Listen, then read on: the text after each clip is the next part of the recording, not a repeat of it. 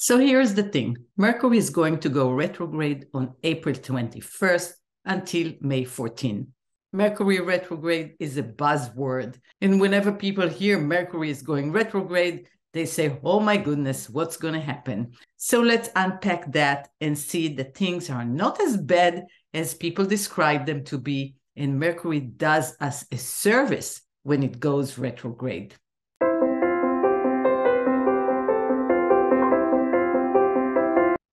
Aloha, my name is Galit, and welcome back to my channel, Astrology Dome. Today we're going to talk about Mercury retrograde, April and May 2023. And what does it mean for you? Now, Mercury has gotten some really bad reputation when it goes retrograde. Everybody's expecting delays, and things are not working, and things are falling apart, and we have to review some things. Well, sometimes those things do show up but it's all for a good cause because Mercury, as the ruler of our communication, is showing us something that we need to revisit and review and maybe sometimes redo. So let's get into what is Mercury retrograde in Taurus going to show us and why we're having Mercury retrograde and how is it happening? Because Mercury is actually, besides the moon, it's the quickest planet that we have in our solar system. So it takes Mercury 88 days to do the round trip around the sun. And actually, Mercury never leaves the sun too far. It can only go um, 28 degrees away from the sun. So it does this dance of running away in front of the sun, getting to about 28 degrees in front of the sun, then it turns retrograde, go back to meet the sun, goes a little further retrograde as if it's giving a message to the sun, then comes back to meet the sun, then continues on its journey. So Mercury is in constant flux and movement all the time. And that's why when you get people that are mercurial in their nature and Mercury is really of an influence in their chart, they are in constant movement because of that planet's trait. So Mercury is retrograde about 18% of the time, and 18% of the people are born with Mercury retrograde in their chart. And that's not so unusual, taking into account the amount of time Mercury does retrograde in the sky every year. Now, planets don't go backwards. So when we say retrograde, it's, it's as if the planet does go backwards. No, it's from our perspective uh, from Earth looking at Mercury that it seems that it's going backwards. It's not really so. But for us human, this ability to see something and to have a perspective about something is a mercurial trait. So any perspective you have about anything in life is actually part of your Mercury position, sign, aspect. So Mercury is really important for us because the way we communicate in any way, shape, or form is mercurial. When we speak, when we read, when we talk, when we draw, when we do music, when we move, when we go, all those things are mercurial in their nature. So, Mercury is a very important part of our life. And when it goes retrograde, it gives us that time to review something each time in a different sign, in a different bracket of degrees in a certain sign, and it means something else each time. So let's see the presentation and see what it brings us this time. So Mercury retrograde from April 21st to May 14. Mercury will go retrograde at 15 degrees Taurus, 37 minutes. All of you people that have planets between 5 and 20 degrees of fixed signs, especially Taurus, are going to experience this more than other signs because fixed signs are either squaring or in opposition, or Taurus itself, it's a conjunction with that Mercury retrograde.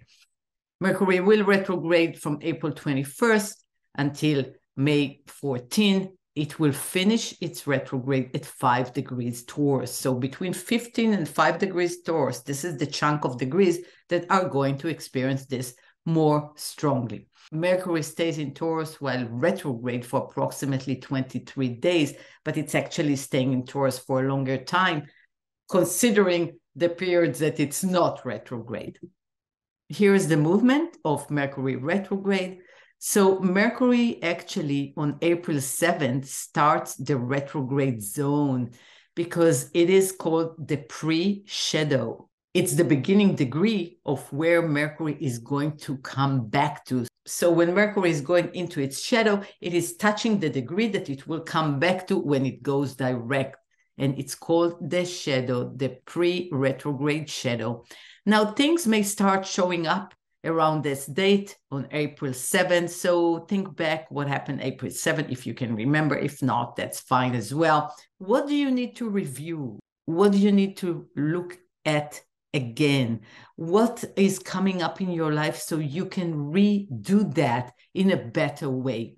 And in Taurus, obviously, this is relating to financial security. This is relating to our security system. This is relating to our feeling of being taken care of, of doing self love and self care, and really building a security system in our life. We all want to feel secure. We all want to feel that we are standing with two feet on the ground and we are grounded, what Taurus really likes, and we have a plan that Taurus really like, and we move forward. But maybe the area of Taurus in your chart needs some work. So Mercury comes and says, okay, let's see what needs some work in this area. So Mercury will start the journey on April 7th at 6 degrees Taurus in the pre-shadow part of the retrograde, going all the way to 15 degrees and 37 minutes, turning station retrograde. This is when things are showing up strongly. On the day or two before the retrograde and after the retrograde, that we need to adjust to the energy, some stuff is showing up and then Mercury goes all the way back to uh, five degrees and uh, 51 minutes of Taurus. Again, this will be a point where things are showing up for you at the end of the retrograde. You are already in a different place in this place because you went through that period of adjusting and reviewing something.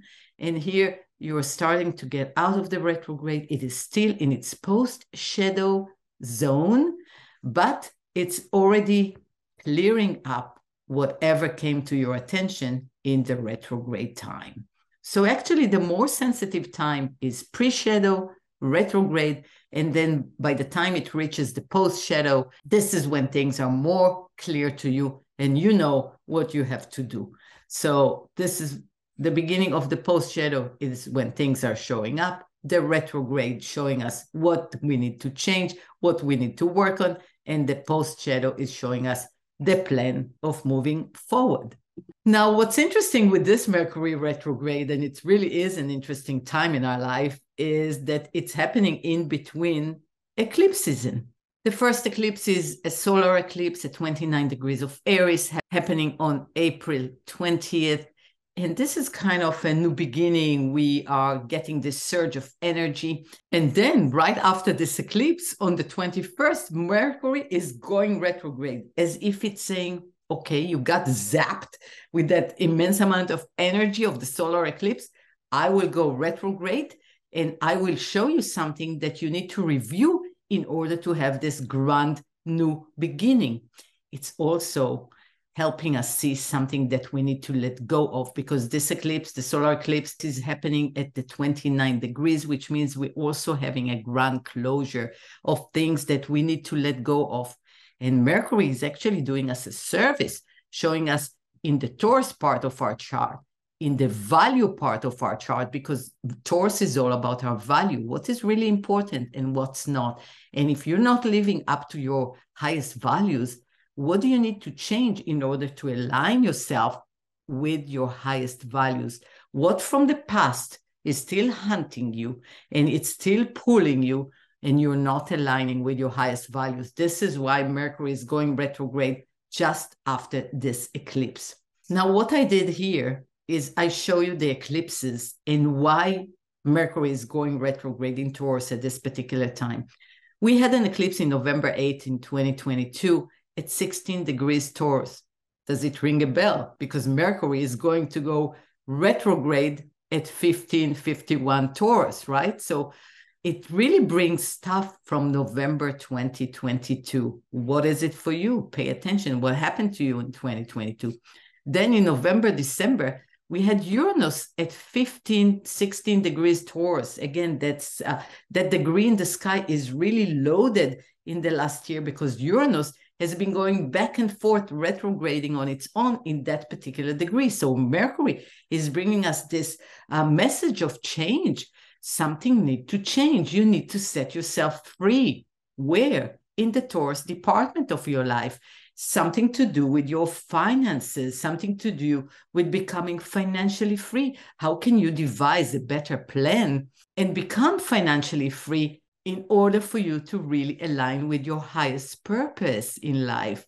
So, this retrograde will help you see what needs to change. That degree is an important degree in the sky, it is loaded. Then on May 5th, we're going to have a lunar eclipse at 14 degrees Scorpio now. This is really important because the 14 degrees Scorpio is a degree that is related to our south node. The collective south node is currently in Scorpio, and we are all healing trauma. We're all healing old pain, childhood conditioning, past conditioning that is holding us back into limiting beliefs, into pain. And so, this Mercury retrograde in the opposite sign is really important, saying, I will help you release something that needs to be healed, that needs to be released from your past in order for you to move forward and become more stable, more self sustaining, more whole, more naturally aligned with peace, with love, with abundance, with beauty, all those beautiful Taurus traits that you want to embody in the Taurus house in your chart. Then on May 15, Mercury goes direct again at five degrees Taurus, preparing us to embody that new plan that is coming for us. And what is this new plan? It's Jupiter entering Taurus. On May 17, this happy occasion of Jupiter entering Taurus is happening. Now, we all like Jupiter. If you know a little bit about astrology, you should like Jupiter by now because Jupiter brings us abundance, expansion, growth, wisdom, good luck, all those good things that we all like to have.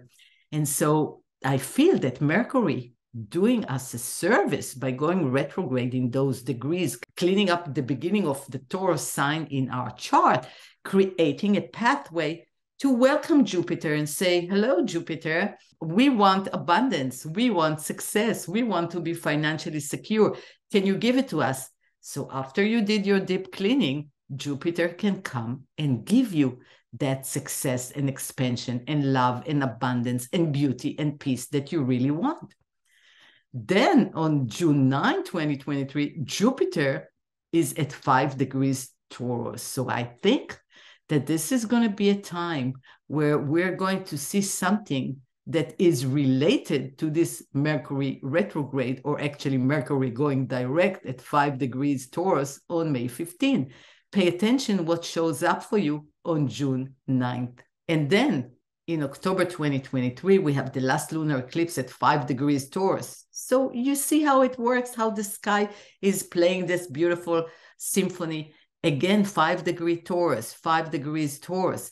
What is going on? And Jupiter at five degree Taurus. So, so the lunar eclipse in October 2023 will actually show us something about the road, the path we have taken in order to get here and see something about our life, something that we needed to change.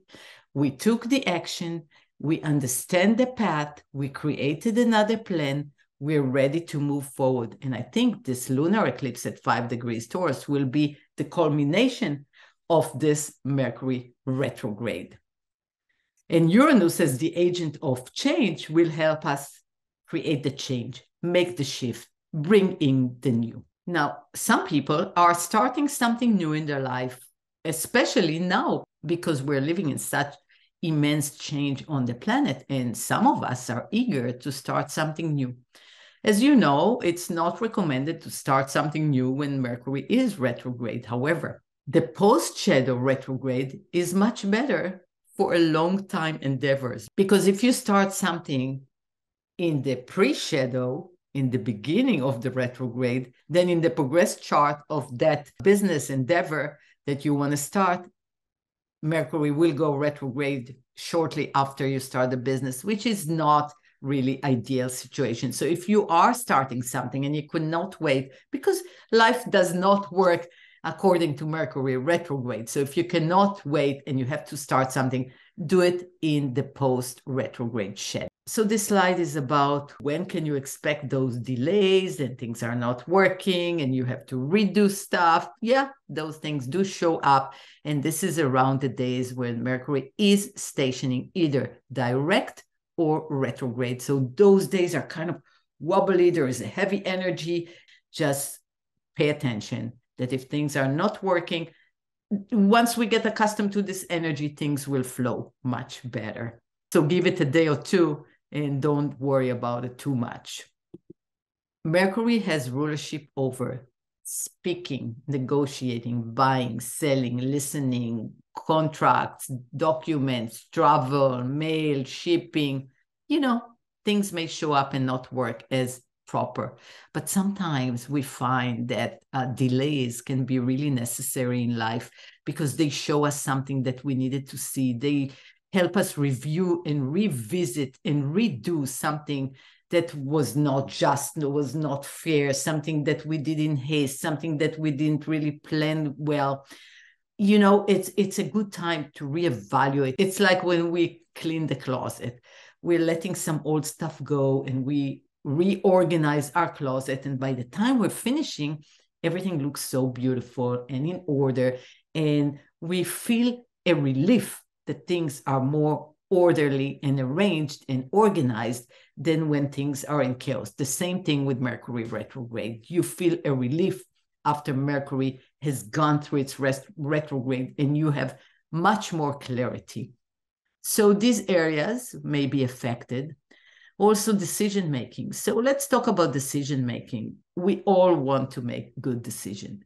So it's not really advised to make a new decision during Mercury retrograde. However, some decisions cannot wait. So what do you do? You choose the best timing possible and you reconsider and reevaluate this decision uh, more times than you would usually if Mercury is retrograde, asking yourself good questions, asking a friend to review, asking a colleague to review something that you need asking for help from another set of eyes to make a good decision.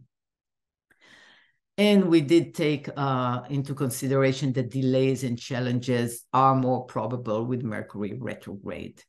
But please don't panic. That's the last thing that you need in life panic. Let's take it with a grain of salt. Delays are happening in our life, and sometimes they're for the best. Taurus. Let's talk about Taurus. Why Mercury is retrograding in Taurus. And we have been experiencing Uranus in Taurus since to, uh, the beginning of 2018. And Uranus is changing our Taurus department of life. Wherever you have Taurus in your chart, Uranus has been transiting there and will be there until 2026. So we're experiencing seven years of Uranus in Taurus, bringing fresh air to the financial department of our life. Taurus wants to be secure, wants to be well funded, wants to be rich, wants to enjoy the good things in life, wants to have a good time, wants quality. But Taurus is also a very natural sign. It wants to be close to nature. It wants to reconnect the self with the natural forces of life because Taurus believe in abundance and Taurus knows to manifest abundance in their life by reconnecting to their natural cycle of abundance. We live in an abundant universe. It's just that we humans have created all kind of systems that some of them have been uh, needing some reorganization and updates. And we're working on it. Pluto went through Capricorn, moved into Aquarius now. So we are working on updating our system, including the financial system. So when Mercury is retrograde in Taurus, we are rethinking previous opinions, previous decisions that we made, especially financial ones or security oriented ones or sustainability ones. Maybe we are not living with, within our budget and we need to revisit that. Maybe we're spending too much on certain things that we shouldn't. Maybe we realize what the budget should be and we create a sustainable plan for us to move forward. So, Mercury retrograde may be a rethinking of a previous opinion or idea that you made in your Taurus house, wherever you have Taurus in your chart. So look to the house that Taurus is occupying in your chart and know that you may be considering some stuff in relation to that life department. So if it's in your 10th house, it's regarding your career. If it's in your seventh house, if you have Taurus in your seventh house, it's regarding your relationship. If you have uh, Taurus in your fourth house, it's regarding your real estate or your home or your family. So please look at the house you have Taurus in your chart. Then in Taurus, we're reviewing project finance and systems of comfort and security. Taurus wants you to be comfortable in your life. This is the function of Taurus to allow us comfort and to enjoy life, to enjoy good food, to enjoy the senses, to enjoy walking on the beach, to enjoy being in nature, to enjoy what life has to offer us. And if you're not enjoying and you're not giving yourself this luxurious time of being just in a being mode, maybe you should maybe you should reconsider something. So what do you need in order to create a good secure system financially in order to enjoy your life in the most simple form possible? Mercury retrograde in taurus will help us revisit our values or resources because this is what taurus is all about. What do you value? What is really important and what's not that is just as viable and important to see from all the noise that we have in our life, what's important and what's not, and how can we let go of those things that are less important and create more quiet and create more peace in our life and concentrate on the things that are important.